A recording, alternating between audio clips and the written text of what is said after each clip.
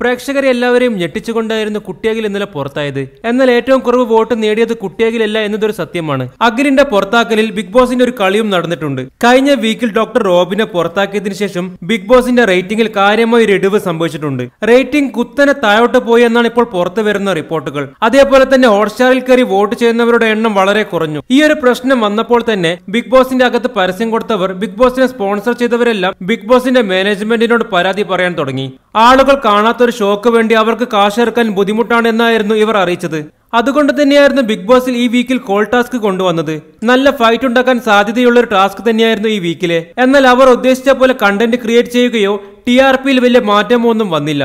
അതുകൊണ്ട് തന്നെ വിനയോ റോൺസണോ പോകാനിരുന്ന ഈ വീക്കിൽ ആരും പ്രതീക്ഷിക്കാത്ത കുട്ടികൾ ഈ വീക്കിൽ പുറത്താക്കുമ്പോൾ ഫേസ്ബുക്കിലും ഇൻസ്റ്റാഗ്രാമിലും വാട്സപ്പുകളിലുമെല്ലാം കുറെ പോസ്റ്റുകൾ വരികയും വീണ്ടും ഒരു ബിഗ് ബോസ് ചർച്ച നടക്കുകയും ബിഗ് ബോസ് തരംഗം ഉണ്ടാവുകയും ചെയ്യും. ഇതായിരുന്നു അവരുടെ ലക്ഷ്യം. ഒരു ലീക്കായ ഓഡിയോയിൽ നിന്നാണ് ഈ കാര്യങ്ങളെല്ലാം വ്യക്തമായി പറയുന്നത്. വീഡിയോ കണ്ട നിങ്ങളുടെ അഭിപ്രായങ്ങൾ കമന്റ് രേഖപ്പെടുത്തുക. കൂടുതൽ ബിഗ് ബോസ് വാർത്തകൾക്കായി ഫെസാ മീഡിയ എന്ന യൂട്യൂബ് ചാനൽ മറക്കാതെ ഇപ്പോൾ തന്നെ സബ്സ്ക്രൈബ് ചെയ്യുക.